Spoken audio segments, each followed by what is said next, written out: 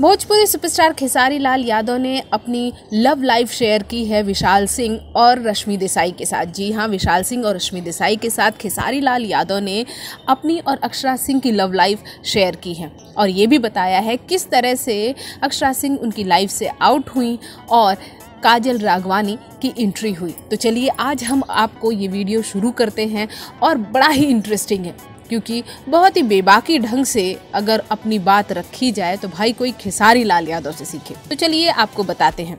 Actually बात को छेड़ा विशाल सिंह ने, क्योंकि विशाल सिंह, अक्षरा सिंह और खेसारी लाल यादव और पवन सिंह की ये तिकड़ी जो है, इसके बारे में सब कुछ जानते हैं। तो विशाल सिंह ने पूछा, खेसारी लाल यादव से उनकी लव लाइफ के बारे में। तो खेसारी यहाँ बोलते हैं कि वह जस्ट गाँव से मुंबई आया था और मुझे कोई केयर करने वाला मिल गया। यहाँ पर उन्होंने अक्षरा सिंह का नाम नहीं लिया, लेकिन ये ज़रूर कहा कि अक्षरा सिंह, उनके पापा, उनकी मम्मी तीनों बहुत अच्छे एक्टर हैं। विशाल सिंह ने भी ये कहा कि जो अक्षरा सिंह की मम्मी हैं, वो उनके साथ बेगूसराय सीरियल में काम कर चुकी हैं।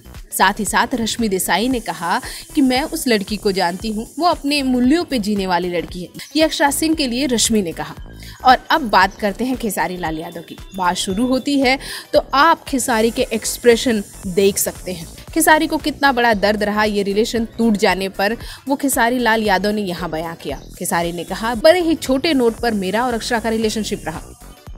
और जब ये रिलेशन टूटा तो मैं छः महीने तक उसके लिए रोता रहा। वो इसलिए क्योंकि जब मैं मुंबई में आया तो मैं अकेला था और मेरा साथ किसी ने दिया तो उसने। यानी कि हर बात पर, बाबू, आज क्या खाना है? जिम जाओगे कि नहीं? डांस सीखो। क्या खाओगे, क्या नहीं खाओगे? क्या पहनोगे, क्या नहीं पहनोगे? सारा कुछ जो इंसान आपका देखता है और आपके लाइफ से अचानक चला जाए तो उसकी कमी खलती है।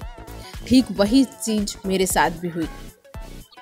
खेसारी ने यहाँ ये भी बताया कि वो तब जब रिलेशनशिप में पड़े थे तो वो शादीशुदा थे। उनकी बीवी गाँव में थी। और फिर खेसारी लाल यादव ने यहाँ ये भी बताया कि उनके साथ, यानी कि अक्षरा के साथ, उनकी बैक टू बैक तीन फ़िल्में आ चुकी थी।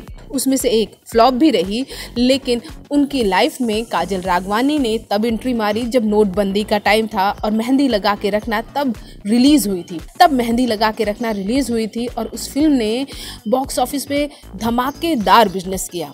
उसके बाद मुझे किसी और के साथ की ज़रूरत नहीं पड़ी क्योंकि मैंने खुद काजल रागवानी के साथ 20 से 25 फ़िल्में कर डाली। और आज के डेट में मेरी और उनकी जोड़ी बहुत ही अच्छी है। मेरा और उनका रिलेशन बड़े ही छोटे नोट पे टूटा, यानी कि अक्षरा का और खेसारी का रिलेशन बड़े ही छोटे नोट पे टूटा।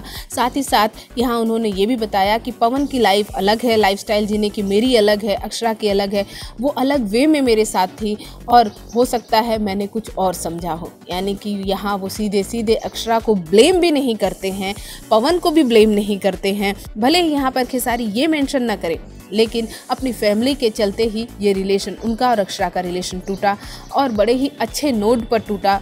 जब वो रिलेशन टूटा तो उसके लिए खेसारी छः महीने तक सिर्फ़ अक्षरा के लिए रोते रहे। भोजपुरी जगत की हॉट और मसालेदार गॉसिप के लिए हमें सब्सक्राइब करना बिल्कुल ना भूलिए।